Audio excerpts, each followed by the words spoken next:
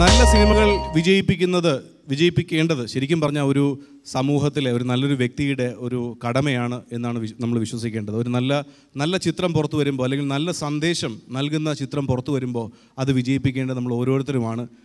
നമുക്ക് അത്തരത്തിൽ വിജയിപ്പിക്കേണ്ട സിനിമയാണ് ദി ഡോൾഫിൻസ് എന്ന സിനിമ. ഒരുപാട് ബന്ധങ്ങളുടെ അർത്ഥം നമുക്ക് മനസ്സിലാക്കി തരുന്ന ഒരു സിനിമയാണ് ദി ഡോൾഫിൻസ്.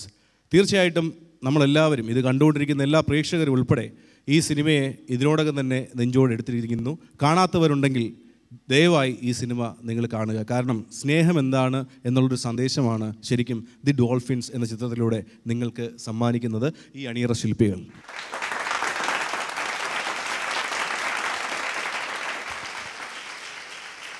ദ ഡോൾഫിൻസ് എന്ന് പറഞ്ഞ സിനിമ കണ്ടിറങ്ങിയതിന് ശേഷം എല്ലാവരും ഓടി നടന്ന് അന്വേഷിച്ചത്. ബാറുകൾ പൂട്ടുന്നതിന് മുമ്പ് ഈ ബാർ ഡോൾഫിൻസ് ബാറിൽ കാണിക്കുന്ന ബാർ ഏതാണെന്ന് തിരക്കിയാണ് ആൾക്കാർ ഓടിയത്. ആ ബാർ ഏതാണെന്ന് ഈ സിനിമയുടെ art director Salu K Jose സാറിനോട് ചോദിക്കാം. സാർ ആ ബാർ ഏതായിരുന്നു? ആ ബാർ നമ്മൾ ചിത്രാഞ്ജലി സ്റ്റുഡിയോയിൽ സെറ്റിട്ടാണ്. സത്യം കേട്ടാ ദീപൻ ചേട്ടാ. ശരിക്കും പറഞ്ഞാൽ ഈ ബാറുകളുടെ ഒരു നിരോധനമൊക്കെ വന്നില്ലേ? അങ്ങനെ ഈ സിനിമയ്ക്ക് ഒരുപാട് പ്രശ്നങ്ങൾ ചേട്ടൻ നേരത്തെ പറഞ്ഞ പോലെ തടസ്സ തടസ്സങ്ങളൊക്കെ ഉണ്ടായി. അരുൺ ചേട്ടൻ എന്റെ പ്രൊഡ്യൂസർ പ്രൊഡ്യൂസറും ഡയറക്ടറും ഒക്കെ ഇരുന്ന് ചിന്തിച്ചത് ഇതിന്റെ ഏറ്റവും കൂടുതൽ ചിന്തിച്ചത് ഒരു ബാറിൽ ഇരുന്നായിരുന്നോ? ഞാൻ പറയാം. അതായത് ഈ ബാറ് പൂട്ടിയത് പേഴ്സണലായിട്ട് സിനിമയെ എങ്ങനെ ബാധിച്ചു? ദീപൻ എന്ന് പറയുന്ന വ്യക്തിയെയും അരുൺ ചേട്ടനെയും കൂട്ടാം. എന്നെ ബാറ് കൂട്ടിയാൽ ബാധിച്ചിട്ടൊന്നുമില്ല. ബാധിച്ചിട്ടില്ല. അതായത് അതായത് ഞാൻ ദുബായ് മലേഷ്യ ബാംഗ്ലൂർ അവിടെ പോവണ അല്ല ദുബ മദ്രാസ്. ഞാൻ വളർന്നതൊക്കെ മദ്രാസിലാണ്. ചേച്ചിയുടെ. ഓക്കെ. അല്ല ഈ ബാറിലൊക്കെ പോയിട്ടുണ്ട്. ഇങ്ങനെ വലിയ ബാറിലൊക്കെ പോയിട്ടുണ്ട്. പോയിട്ടുണ്ടോ? ഇതിനേക്കാൾ ഇതാണ് ബാറ് കേരളത്തിൽ. ഇങ്ങനൊരു ബാറ് വേണം എന്നുള്ള ഒരു ഐഡിയ ഞാൻ സാലുവിന്റെ പറയും അപ്പൊ ചേട്ടൻ ഡിസൈൻ ചെയ്ത് കൊടുത്തു.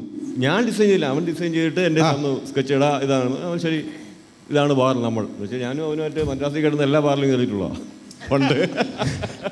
ബാറിന് ഫുൾ ലൈസൻസ് കൊടുത്തല്ലേ പ്രൊഡ്യൂസർ ഫർണിച്ചർ ഉൾപ്പെടെ അക്രിലിക് ഷീറ്റ് അതിന്റെ ഫ്ലോറ് അതിന്റെ ഗ്ലാസസ് വരെ എല്ലാം ഫ്രഷാണ് അപ്പോൾ ആ പ്രൊഡ്യൂസറിൽ നിന്ന് തന്നെ കേൾക്കാം ഈ ബാറ് ഇത്ര ലാവിഷ് ആയിക്കോട്ടെ എന്ന് എന്തുകൊണ്ട് പ്രൊഡ്യൂസർ വെച്ചു? അല്ല ബാറ് സെറ്റ് ചെയ്തോളൂ എന്ന് മാത്രമേ പറഞ്ഞോളൂ. ആ. പക്ഷെ ബില്ല് വന്ന് കണ്ടപ്പോൾ അപ്പോൾ ഇനി നിങ്ങളിലേക്ക്.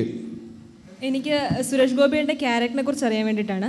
അപ്പോൾ ഇതിൽ നമ്മൾ ഇതിനു മുമ്പ് കണ്ടിട്ടുണ്ട് എന്താ ഭരത് ഗോപി അത് ഭരത്ചന്ദ്രൻ ഐ പി എസ് ആയിട്ട് ഭയങ്കര കീടിലൻ ഡയലോഗൊക്കെ ആയിട്ട് വരുന്നത്. അപ്പോൾ ഇതിനകത്ത് ഫുൾ എന്താണ് ഒരു കളർഫുൾ ഡ്രസ്സൊക്കെ ആയിട്ട് ഒരു തലക്കെട്ടൊക്കെ ആയിട്ട് അങ്ങനെ ഒരു ലൈറ്റ് അപ്പിയറൻസ് ആണ്. അപ്പോൾ സുരേഷ് ഗോപിയുടെ ക്യാരക്ടറും ഇതുപോലെ ലൈറ്റ് ആണോ? ലൈറ്റാണ് ആണ്. വെച്ചാൽ ഇപ്പം ഭരചന്ദ്രൻ ഐ പി എസ് എന്ന് വെച്ചാൽ സുരേഷ് ഏട്ടൻ ചെയ്ത ആക്ഷൻ എല്ലാ പടങ്ങളും ആക്ഷൻ സീക്വൻസ് വന്നിട്ടുള്ളതാണ്. അപ്പോൾ ഇനി സുരേഷ് ഏട്ടൻ തിരിച്ചൊരു വരവ് വരുമ്പോൾ അങ്ങനെ ഒരു ആക്ഷനിലേക്ക് വരണ്ട. ഒരു ലൈറ്റ് ആയിട്ടുള്ള കഥാപാത്രം. തിരുവനന്തപുരത്ത് ജീവിക്കുന്ന ഒരു അബ്കാരി മുതലാളി ഒരു പനയമിട്ടം സുര. അയാൾ മസിൽ പിടിച്ചിട്ടും അത് സുരേഷൻ തന്നെ ഇതിൽ പറയുന്നുണ്ട്. അതായത് വേറെ ഒരാൾ പറയുമ്പോൾ ഞാനിങ്ങനെ കഴുത്തിൽ ഞരമ്പ് പടയ്ക്കുന്ന ഡയലോഗ് ഒന്നും പറഞ്ഞിട്ടില്ല.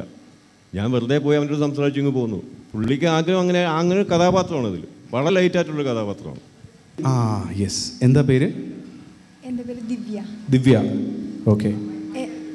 എന്റെ ചോദ്യം കൽപ്പന ചേച്ചിയോടാണ്. ഇത്രയും കുറേ വളരെ നാളുകൾക്ക് ശേഷം ഇത്ര നല്ലൊരു റോൾ ചേച്ചി ചെയ്തപ്പോൾ എന്തായിരുന്നു മോളുടെ അഭിപ്രായം? മോളെ ആദ്യം നമ്മൾ ഇത്തരം ക്യാരക്ടേഴ്സ് ഒന്നും മോളോട് പറയാറില്ല. ഞാൻ അഭിനയിക്കാൻ പോകുമ്പോഴേ ഈ സിനിമ മാത്രം റിലീസ് ചെയ്ത ശേഷം എനിക്ക് ഒരുപാട് കോൾസ് വന്നു. ഇപ്പോൾ ഫീൽഡിൽ തന്നെ നാദർഷ അല്ലെങ്കിൽ Jomol director Nisar sir അതുപോലെ ഒരുപാട് ഡയറക്ടേഴ്സ് ഇങ്ങനെ വിളിക്കുന്ന കണ്ടപ്പോഴാണ് ഞാൻ മോളോട് പറഞ്ഞ എന്റെ റോൾ ഇന്നതാണ് ഇതാണ് ഞാൻ ചെയ്തിരിക്കുന്നത് അപ്പോൾ ഞാൻ സങ്കടപ്പെടുന്നതൊക്കെ വലിയ വിഷമമുള്ള കാര്യമാണ്. ഞാനിങ്ങനെ തറതലയൊക്കെ പറഞ്ഞ് ജയിച്ചാണിനെ പോലെ നിൽക്കുന്നതാണ് മോൾക്ക് ഇഷ്ടം. അപ്പോൾ ഞാൻ പറഞ്ഞപ്പോൾ പറഞ്ഞു എനിക്ക് വിഷമവും വരുന്നു കഴിഞ്ഞാൽ നമുക്ക് പോയി കാണാം എന്ന് പറഞ്ഞിരുന്നു. അപ്പോൾ റോൾസിനെ കുറിച്ച് പറയാറില്ല ഒറ്റ കാര്യമേ ഉള്ളൂ ഏത് പടത്തിൽ അഭിനയിച്ചാലും ബ്ലൗസിന് ഇതുവരെ ഇറക്കം വേണം. മുതുക് തുറന്ന് കിടക്കരുത് ഇത്രയും എന്റെ ബ്ലൗസിന്റെ ഒന്നര മീറ്ററാണ് എന്റെ ബ്ലൗസ് കാരണം അത് സേഫാണ് ഇവിടെ ഒന്നും കാണരുത് ശരീരം കാണാൻ പാടില്ല. അങ്ങനെ അങ്ങനത്തെ മോഡേൺ ഡ്രസ്സ് ഇടുന്ന ഇഷ്ടമാണ് ജീൻസും ടീഷർട്ട് പോലൊക്കെ ഇടുന്ന ഇഷ്ടമാണ് ശരീരം മറിഞ്ഞു കിടക്കണം സാരി ഉടുക്കുമ്പോൾ വയറും ഒന്നും ആരും കണ്ടുകൂടാ എന്നുള്ളതാണ് അവളുടെ ഇത്. അപ്പോൾ എന്താ കോസ്റ്റ്യൂം എന്ന് ചോദിച്ചാൽ അവൻ നൈറ്റിയാണ് എനിക്ക് കൂടുതലും. വീട്ടിലാണ് എനിക്ക് സീൻസ് ഒരു സീനിലേ ഉള്ളൂ സാരി. ഒരു ഷോട്ടിലേ വരുന്നുള്ളൂ സാരി. അപ്പോൾ അതുകൊണ്ട് ഇനിയിപ്പോൾ കാണുമ്പോൾ ഞാൻ സങ്കടപ്പെടും. പെട്ടെന്ന് ഫീൽ ചെയ്യുന്ന ഫീലിങ്സ് ഒന്നും പുറത്ത് കാണിക്കുന്ന ഒരു കുട്ടിയല്ല. പോലെ ഇങ്ങനെ ഇങ്ങനെ നിൽക്കുന്ന ഒരാളല്ല. ഭയങ്കര സൗമ്യമാണ് അപൂർവം കുറച്ചേ സംസാരിക്കുള്ളൂ. പിന്നെ ഈ പടം കണ്ടിട്ട് വേണം അവിടെ റിയാക്ഷൻ എനിക്ക് ചോദിക്കാൻ. അപ്പോൾ ഈ സിനിമയിൽ നമുക്ക് യങ്സ്റ്റേഴ്സായിട്ടുള്ള പയ്യന്മാർക്ക് ഒരു നല്ല ഉപദേശം ദീപൻ ചേട്ടനും അനൂപേട്ടനും തരുന്നുണ്ട്. അതായത് എങ്ങനെ ഒരു പെൺകുട്ടിയെ ഇമ്പ്രസ് ചെയ്യാം? എങ്ങനെ ലൈൻ അടിക്കുക? അതിന് വളരെ വിശാലമായ തലവും ഒരു യൂണിവേഴ്സിറ്റി തന്നെയാണ് ശരിക്കും പറഞ്ഞാൽ ഈ സിനിമയിൽ അപ്പോൾ എന്തായാലും അനുപേട്ടനും കൂടെ അനുപേട്ടനും കൂടെ ആ. അപ്പോൾ നിങ്ങൾ എന്തെല്ലാം ടെക്നിക്കാണ് സാധാരണ യൂസ് ചെയ്യുന്നത്? ഇത്തരത്തിൽ ഇന്റലക്ച്വലായിട്ട് പെൺകുട്ടികളെ സമീപിക്കുന്ന ആൺകുട്ടികൾ ഈ ക്യാമ്പസിൽ ഉണ്ടോ? ഇന്റലക്ച്വൽ ആയിട്ടുള്ള പയ്യന്മാരെ ഇഷ്ടമാണ് പക്ഷെ വേണ്ട. ഞാൻ അല്പം ഇന്റലക്ച്വൽ അല്ല പക്ഷെ വേണ്ടേ? അപ്പൊ വേണ്ട. ആ അപ്പോൾ വേണ്ട. അപ്പോൾ ഇന്റലക്ച്വലായിട്ട് ഇവിടെ ആരെങ്കിലും പ്രപ്പോസ് ചെയ്തിട്ടുണ്ടോ? ഇവിടെ കൂടുതലും ഇന്റലക്ച്വൽ അല്ല. റൊമാൻസ് എപ്പോഴും പൈങ്കിളി ആവുന്നതിനോടാണ് എല്ലാവർക്കും താല്പര്യമെന്ന് തോന്നുന്നു. പൈങ്കിളിക്കാണ് ഇവിടെ ഡിമാൻഡ് അപ്പോൾ അല്ലാതെ പ്രത്യേക ടെക്നിക്കൊന്നും ഇല്ല ഇവിടെ? അങ്ങനെ പ്രത്യേകിച്ച് ടെക്നിക്കൊന്നും ഇതുവരെ ഉപയോഗിച്ചിട്ടില്ല. അല്ല ഒരു പെൺകുട്ടിയോടത് ഇഷ്ടം തോന്നിയാൽ ഉണ്ടോ ആരെങ്കിലും ഇവിടെ? ആ അപ്പോൾ ഇഷ്ടം തോന്നി എന്നിരിക്കട്ടെ. അതെങ്ങനെ പ്രപ്പോസ് ചെയ്യാനാണ് ഇഷ്ടം? നേരിട്ട് ചെന്ന് പറയുന്നതാണ് താല്പര്യം. കയ്യോടെ നമുക്ക് തന്നെ കിട്ടും. എന്തിനാ ഇടയ്ക്കൊരാൾ അല്ലേ? നേരെ സ്ട്രൈറ്റ് നമ്മളങ്ങ് ഡീൽ ചെയ്യാന്നുള്ളതാണ് അവിടെ ചീത്ത പറഞ്ഞാലും നമ്മളെ കേട്ടിട്ടുള്ളൂ. ശരി കൽപ്പന ചേച്ചി ആ ടെക്നിക്ക് ഒന്ന് നമ്മൾ അറിയട്ടെ. ഇപ്പം ഞാനൊരു പെൺകുട്ടിയാണെന്ന് വെച്ചോ? ഏ? എന്നെ ഒന്ന് പ്രപ്പോസ് ചെയ്ത്. ചേട്ടനെ പ്രപ്പോസ് ചെയ്യണം. ചേച്ചി അല്ല രേഷ്മ. ആ. ആ, ശരി. രേഷ്മ എനിക്ക് രേഷ്മയോട് ഒരു കാര്യം പറയാനുണ്ട്. എന്താ? എന്താ കാര്യം? എനിക്ക് ഒരുപക്ഷെ തനിക്കിപ്പം ഇപ്പോൾ തന്നെ അറിയായിരിക്കും. എന്തോന്ന്? ഞാൻ കുറെ കുറെ നാളായിട്ട് തന്റെ പുറകെയാണ്. ആ ഞാൻ ശ്രദ്ധിച്ചിട്ടില്ല. എനിക്ക് തന്റെ ക്യാരക്ടർ തന്റെ സൗന്ദര്യത്തെക്കാൾ തന്റെ ക്യാരക്ടറാണ് എനിക്ക് ഇഷ്ടപ്പെട്ടത്. ഛേ. ഗുഡ്. നല്ല ഡയലോഗ്സ് മോനെ. കണ്ടിന്യൂ ചെയ്തോളൂ കണ്ടിന്യൂ ചെയ്തോളൂ. കേൾക്കട്ടെ ബാക്കി കേൾക്കട്ടെ തനിക്ക് എന്നോട് എങ്ങനെയാണ് എനിക്കറിയില്ല. പക്ഷേ ഞാൻ പറയാണ് എനിക്ക് തന്നോട് തന്നെ ഇഷ്ടമാണ്. അത് വെറും ഒരു ക്യാമ്പസ് ഫാസിനേഷൻ ആയിട്ട് അല്ല ഞാൻ പറയുന്നത്. സീരിയസ് ആയിട്ട് തന്നെയാണ് ഞാൻ പറയുന്നത്. തന്റെ അഭിപ്രായം അറിയാൻ എനിക്ക് പെട്ടെന്ന് അറിയിച്ചാൽ അത്രയും നല്ലത്.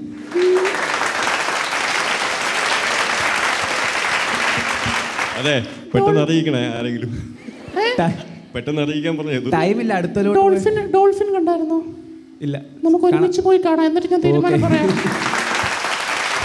അടുത്ത് നമ്മൾ ഇതിലൊരു ഗോവാക്കാരി. ഗോവയിലാണ് ഇത്തവണ അനൂപേട്ടൻ തെസ്നീഖാനെ പ്ലേസ് ചെയ്തിട്ടുള്ളത് അല്ലേ? കേരളത്തിലൊന്നും സ്ഥലം തന്നില്ല. ട്രിവാൻഡ്രത്തൊന്നുമില്ല. നേരെ ഗോവയിലേക്ക്. എന്തുകൊണ്ട്? ഈ കഥാപാത്രത്തെ കുറിച്ച് എന്ത് പറയുന്നു? ആദ്യമായിട്ട് പറയാനുള്ളത് ഞാൻ ആദ്യമായിട്ടാണ് സ്റ്റുഡൻസ് ഉള്ളി എന്ന് പറഞ്ഞൊരു പരിപാടിയിൽ പങ്കെടുക്കുന്നത്. Thank you it's our pleasure പിന്നെ അതിലുള്ള സന്തോഷം എന്താണെന്ന് പറഞ്ഞാൽ നല്ലൊരു പടത്തിന്റെ ഭാഗമാവാൻ സാധിച്ചതിൽ വളരെയധികം സന്തോഷം.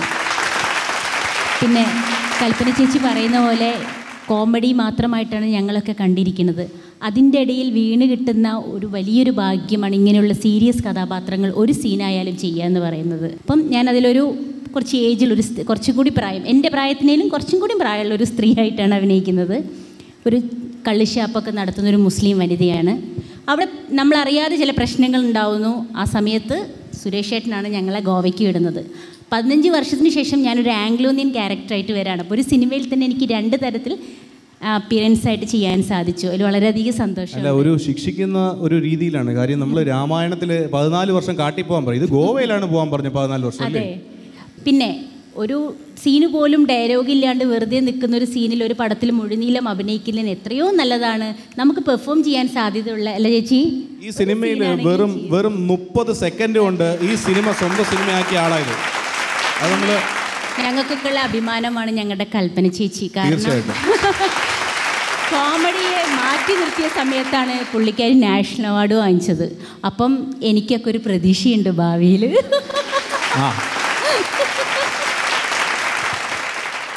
അല്ല എല്ലാ ഡയറക്ടേഴ്സും പറയാറുണ്ട് എന്റെ സിനിമ തീർച്ചയായും എല്ലാവരും പോയി കാണണം. അങ്ങനെ അപ്പോൾ ദീപൻ ചേട്ടൻ ഈ സിനിമ കാണണം എന്ന് പറയാനുള്ള കാരണം എന്താ?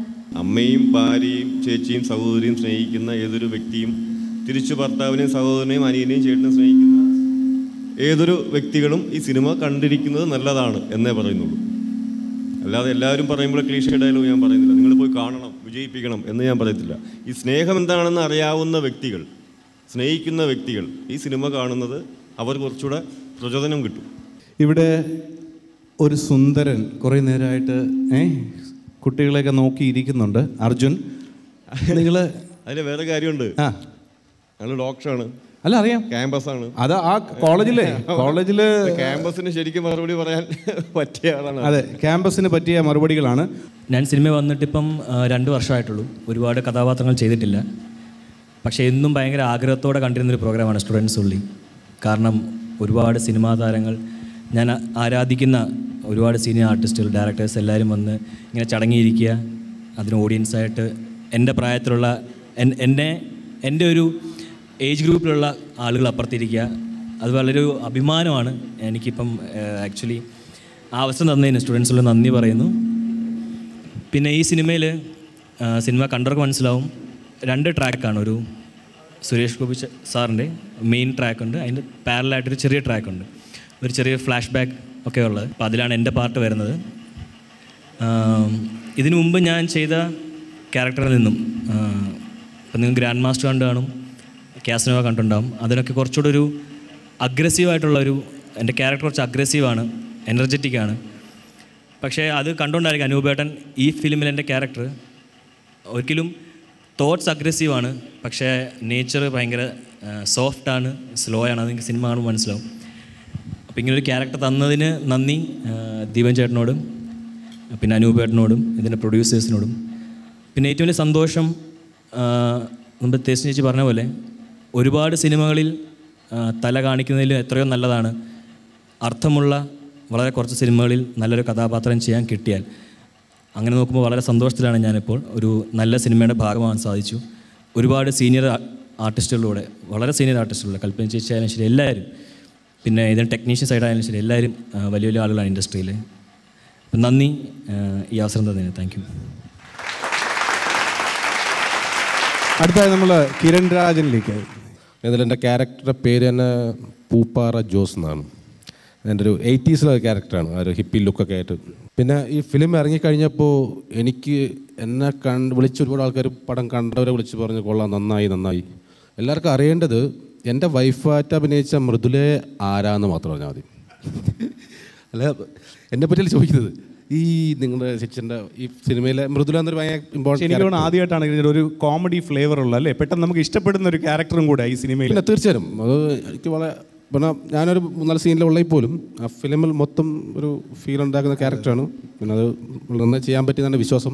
ഇത് നമ്മൾ ശരിക്കും നമ്മളെ വീട്ടിൽ ഇപ്പോൾ വൈഫോ സിസ്റ്ററോ അമ്മയോ ഇവരൊക്കെ ഒരു നമ്മൾ എന്തോരം നമ്മളെ സ്നേഹിക്കുന്നു എന്നൊരു നമ്മൾ നമ്മൾ ഓർക്കാറില്ല. അല്ലെങ്കിൽ അത് അതിനുള്ള ടൈം കിട്ടാറില്ല. നമ്മൾ ഈ ഫിലിം കാണുമ്പോൾ നമുക്ക് ഫീൽ ചെയ്യും.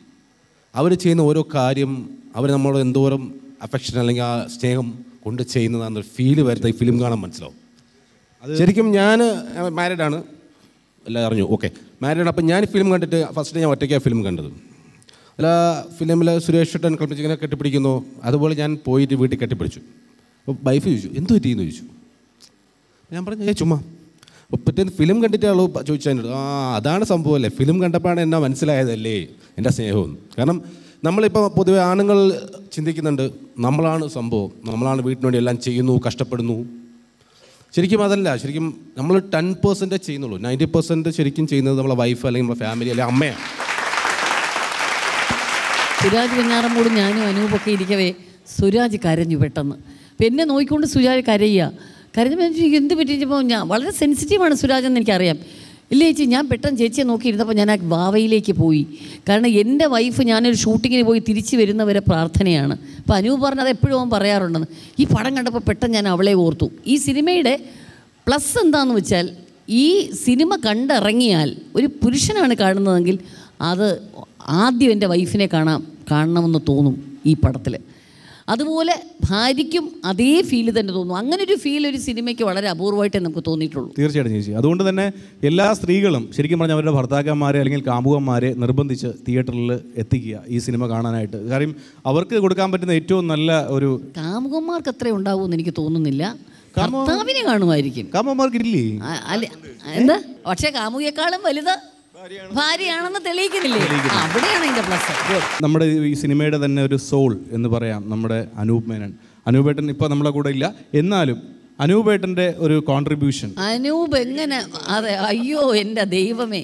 കാരണം എന്റെ കഥാപാത്രം മോഡ് ചെയ്ത് എടുത്തിരിക്കുന്ന അനൂപാണ്. ഞാൻ ഈ തമിഴിൽ ഭാഗ്യരാജ് സാറ് ബാലമഹേന്ദ്ര സാർ കമൽ സാറിന്റെ കൂടെ ഒക്കെ അഭിനയിച്ചിട്ടുണ്ട്. അപ്പോൾ അപ്പോഴൊക്കെ തമിഴ് സംവിധായകർ നമുക്ക് പറഞ്ഞു തരും ടൈമിങ്ങും കാര്യങ്ങളും ഒക്കെ. മലയാളത്തിൽ ഈ ഇരുന്നൂറോളം സിനിമ ചെയ്ത എന്നെ ഈ സിനിമയിലുള്ള ആകെ എനിക്ക് അഞ്ച് സീൻ വരുമോ മുന്നേ അഞ്ച് സീൻ വരും. ആ ഒരു എട്ട് സീനൊന്ന് കൂട്ടിക്കോളൂ. ആ ഷോട്ടിൽ അഭിനയിക്കാൻ വന്നിട്ട് ക്യാരക്ടർ പറഞ്ഞു നമുക്ക് ഇഷ്ടപ്പെട്ടു യൂഷ്വലായിട്ട് നമ്മൾ നിൽക്കുക. ചേച്ചി വേണ്ട. ഒരു ഡയലോഗുണ്ട് ആ ഡയലോഗ് പറയുമ്പോൾ അയ്യോ ചേച്ചി ഇതല്ല ഞാൻ ഉദ്ദേശിച്ചത് പുരികം പൊക്കണ്ട. അയ്യോ ചേച്ചി പുരികം താക്ക് പുരികം താക്ക്. അപ്പം ഞാൻ പറഞ്ഞ ഈ രണ്ട് പുരികം അനാവശ്യവും തോന്നിയ ഒരു സിനിമ ഇതാ. സുരേഷ് ഒരു ഇത് ചെയ്തിട്ട് ഇവിടെ വന്നിരുന്ന് ഇങ്ങനെ സംസാരിക്കുമ്പം സുരേഷേട്ടൻ പറയും എന്തുകൊണ്ട് ഞാൻ അത് ചെയ്യേണ്ടി വന്നു? അപ്പോൾ ചേച്ചി പറയും ഇതിനേക്കാളാണ് അണ്ണൻ പെണ്ണ് പിടിക്കാൻ പോണായിരുന്നു. ആ ചേച്ചി എന്നാന്ന് പറഞ്ഞു പ്ലീസ് ചേച്ചി അത് ഒരിക്കൽ കൂടെ കേക്കട്ടെ. കേൾക്കട്ടെ അത് ഞാൻ പറയും അദ്ദേഹത്തിനോട് അദ്ദേഹം ആ കുറ്റബോധത്തോടിരിക്കുക ഭാര്യ എങ്ങനെ ഫേസ് ചെയ്യുമെന്ന് വെച്ച് ഞാനെന്ന ഭാര്യ പറയുകയാണ് ഒരു ഭാര്യ അടുത്തിയെന്ന് കാര്യം ചോദിക്കും. അണ്ണ എന്തിനാണ് ഈ ഒരു കോലത്തിൽ ഇറങ്ങി വന്നതെന്ന്? അപ്പോൾ പുള്ളി ഇങ്ങനെ കാര്യം പറയും എന്നോട് ഞാൻ പോയത് ഇതിനാണ് വാവേ നീ ഉദ്ദേശിച്ചതിനല്ലെന്ന്. അയ്യ അണ്ണ ഇതിലും പോണതല്ല അണ്ണ പെണ്ണ് പിടിക്കാൻ പോണമായിരുന്നു അണ്ണ. എന്താ ആ ഒരു ഭാര്യ ആലോചിച്ച് നോക്കൂ. ഈ ഒരു ഷോട്ട് എടുക്കാൻ ചേച്ചി പുരിക പ്ലീസ് പ്ലീസ് ഇത്രയും പടത്തിൽ നമ്മൾ ഈ കോമഡിയിൽ എന്തോ ആവാ? ഇയാൾ എന്തോ വിചാരിച്ചെന്നൊക്കെ ചോദിച്ചു ചോദിച്ചു പുരിക ഇങ്ങനെ ആയിപ്പോയി. ഉടനെ ചേച്ചി ഞാൻ ഉദ്ദേശിച്ച ഇതാണ്. അതിന് ചേച്ചി പുരികത്തിന്റെ ആവശ്യമില്ല. ശരി ഓക്കെ. പുരികം താത്ത ഡയലോഗ് പറഞ്ഞു. എനിക്ക് എത്ര പറഞ്ഞിട്ട് പനി പൊടിയൊന്നും ഒറ്റ അടി എന്നെ. ഞാൻ പെട്ടെന്ന് ദീപനെ എങ്ങനെ നോക്കിയപ്പോൾ ദീപം പെട്ടെന്ന് കണ്ണടച്ചിട്ട് അല്ല അതിന്റെ ഒരു കുറവ് ചേച്ചിക്ക് ഉണ്ടായിരുന്നുള്ള മട്ടിൽ അവനങ്ങ് താന്നു.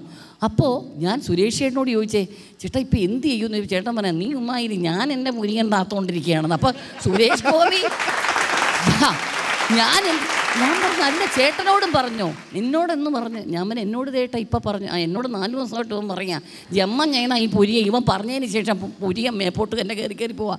നമ്മളോടൊരാൾ ചെയ്യരുതെന്ന് പറഞ്ഞാൽ അത് തന്നെ വരുമല്ലോ അങ്ങനെ ഞങ്ങൾ രണ്ടും കൂടെ ഉള്ള ആ സീനിൽ ഇങ്ങനെ താഴെ കുത്തിയിരിക്കുക അനു.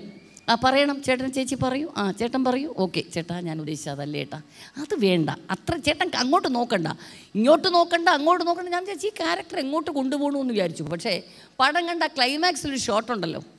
ആ എന്റെ അറിഞ്ഞ് ഓടി വരുന്ന ഒരു സീനിൽ ഞാൻ ഗ്ലിസറിനിട്ടു ആരോട് ചോദിച്ചുകൊണ്ട് ചേച്ചി ഗ്ലിസറിനിട്ട് അപ്പോൾ ദീപൻ എവിടെ നിന്നുകൊണ്ട് ഇടയ്ക്ക് അനൂപിനോട് പറയുന്നത് ചേച്ചി ഗ്ലിസറിനിട്ട് നീ പോയി പറയടാന്ന്. അപ്പം ഞാൻ ചോദിച്ചേ ഗ്ലിസറിൻ ഇട്ടോ? ചേച്ചി എന്തിനത് ചെയ്തു? ഞാൻ പിന്നെ അത് വായിച്ചപ്പോൾ ഗ്ലിസറിൻ ഗ്ലിസറിൻ വേണ്ട. ഗ്ലിസറിൻ ഇട്ടാലേ കരയൂ എന്നുള്ള ധാരണ തെറ്റാ. തുടക്കി വെച്ച് ഗ്ലിസറിൻ തുടയ്ക്കാൻ പറഞ്ഞു. അങ്ങനെ ആ ഗ്ലിസറിൻ കമ്പിളിരുന്ന തുടച്ചപ്പോഴാണ് കണ്ണ് ബ്ലഡ് പോലെ ഇരുന്നത്. ഭയങ്കര ബ്ലഡ് കളർ കളറിലിരുന്നു എന്നിട്ട് ചേച്ചി മൈൻഡ് ചെയ്യുന്നേയില്ല. ഈ ക്ലൈമാക്സിനെ കുറിച്ച് ചേച്ചി ബോധവതിയല്ല പുഷ്പം പോലെ ലൈഫ് കാണുന്ന ഒരു സ്ത്രീയാണ്. കാരണം നമ്മൾ ട്രിവാൻഡ്രം സ്ലാങ്ങിന് ഒരു ഹ്യൂമർ ഉണ്ട് ആദ്യമേ തന്നെ. എന്തരപ്പം ഈ സുഖങ്ങൾ എന്നെ? നീ ചോദിക്കുമ്പോൾ നമുക്കൊരു ചിരി വരും. അപ്പോൾ ഈ ആ ഇന്നസെന്റ് ആ ലാംഗ്വേജിന്റെ കൂടെ തന്നെ ഞാൻ ആകെ കോമഡി വർക്ക് കിട്ടിയതെന്ന് പറഞ്ഞാൽ ഇത്തരം ചില സ്വീക്കേഴ്സിൽ എന്റെ ഭാഷയുടെ കോമഡിയേ ഉള്ളൂ. എന്റെ എക്സ്പ്രഷൻ ഒരിക്കലും കോമഡി അല്ല എന്നുള്ളതാണ്. അപ്പം അത്ര കഷ്ടപ്പെട്ടിട്ട് ഓരോ എക്സ്പ്രഷൻ ഇപ്പം ഞാൻ ആലോചിക്കുന്ന മൊത്തം ഇതാണ്. ഇനി ഒരു പടത്തിന് പോയി ഞാൻ പുരികം അനക്കുകയില്ല. അതിന്റെ അതിന്റെ പ്രാക്ടീസിലാണ് ഇപ്പൊ. സീരിയസ് ആയിട്ട് നല്ലൊരു ആക്ടിങ് ടെക്നിക്കാണ് അല്ലേ നമ്മൾ പുരികം ആവശ്യമില്ല അനക്കാൻ പാടില്ല. അത് അഭിനയിച്ച് നോക്കുമ്പോഴേ അറിയൂ കേട്ടോ. ഇവരുടെ ഒരു ഡയറക്ഷനിൽ അനൂപും ദീപനും ഒക്കെ ആണെങ്കിൽ നമ്മുടെ പുരികം വേസ്റ്റാ മോനെ. ഫുൾ ഷേവ് ചെയ്തിട്ട് വാ. അത് വേണ്ട. അതുണ്ടെങ്കിലല്ലേ അത് മേപ്പോട്ടും കീപ്പോട്ടും ഒക്കെ വരുവുള്ളൂ. അപ്പോൾ ഈ സിനിമ നിങ്ങൾക്ക് കണ്ടാലറിയാം എന്റെ എക്സ്പ്രഷൻസ് കാരണം അത് മതി. കാരണം നമ്മൾ കൂടുതൽ കിടന്ന് മെടച്ച് ഇങ്ങനെയൊക്കെ കാണിക്കേണ്ട സ്റ്റൈലിന്റെ കാലം പോയി. ഇപ്പോൾ ഇങ്ങനെ നിന്നിട്ട് എന്തരെണ്ണ? എണ്ണ പേടിച്ചോ എണ്ണ എന്നാൽ അണ്ണനെ കണ്ടപ്പം. അത് മതി ചേച്ചി. കണ്ണ് മതി. അത്രയ്ക്ക് ഓരോ എക്സ്പ്രഷനും നാല് ദിവസത്തെ വർക്ക് ഒരു അഞ്ച് ദിവസത്തെ വർക്ക് ഇരുപത് ദിവസത്തെ പീഡനം ഞാൻ അനുഭവിച്ചു എന്നുള്ളതാണ്. അഭിനയ പീഡനം. അല്ല എന്നാലും നമുക്ക് ഇതിൽ പറയപ്പെട്ട ഏറ്റവും വലിയ ഒരു പ്രത്യേകത എന്ന് പറഞ്ഞാൽ സുരേഷ് ഏട്ടന്റെ അഭിനയമാണ്. ശരിക്കും എല്ലാവരെയും അതിശയിപ്പിക്കുന്ന ഒരു പെർഫോമൻസ് ആണ്. അതുപോലും ഞാൻ പറഞ്ഞില്ലേ അത് കാച്ചിക്കുറുക്കി എടുത്താ ഇന്നത്തെ വിശേഷങ്ങൾ ഇവിടെ അവസാനിക്കുകയാണ്. നമ്മൾ വീണ്ടും കാണും. ഡോൾഫിൻസിന്റെ തന്നെ വിശേഷങ്ങളുമായിട്ട്.